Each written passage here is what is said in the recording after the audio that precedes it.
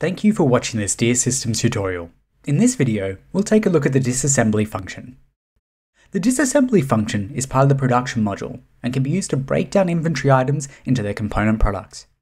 It can also be used to carry out unit conversions, for example from pounds to kilograms. To begin using disassemblies, you must first create an inventory item with bill of materials, which is covered in our assemblies video.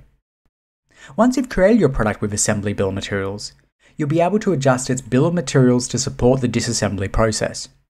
If you'd like this finished good to be automatically disassembled whenever a purchase order for it is received, you can select the Auto Disassembly option here. This is generally used if you're purchasing items in one form but storing it within your inventory in another. For more information on how to handle the purchasing and sale of varieties of different units of measure, please watch our video on additional units of measure.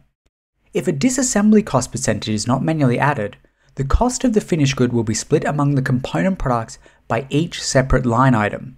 For example, in this case, there are five lines. Therefore, 20% of the total cost will be assigned to each line no matter the item quantity of the line. If you'd rather dictate the exact percentage the disassembly should distribute its cost with, you can use this column to do so.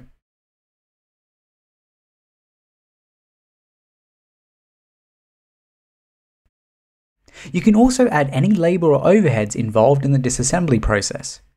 As with the component products, any labour or overhead services must have been previously made before they can be added to the bill of materials. You then need to select an expense account to assign the labour to and a price tier. Once the product has been saved, you can now perform disassemblies with it. Navigate to the production module and choose New Disassembly.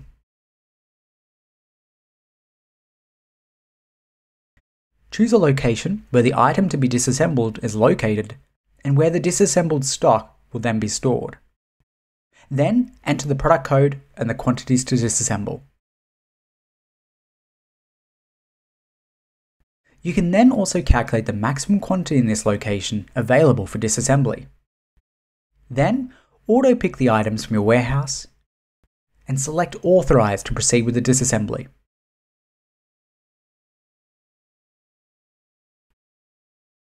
By selecting the Results tab and loading the bill of materials, you can see all of the component products that have been produced by the disassembly, and the labour and overheads expended.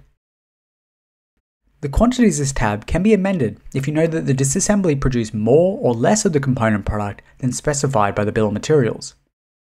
Select Complete to finish the disassembly. And that concludes this video on disassemblies.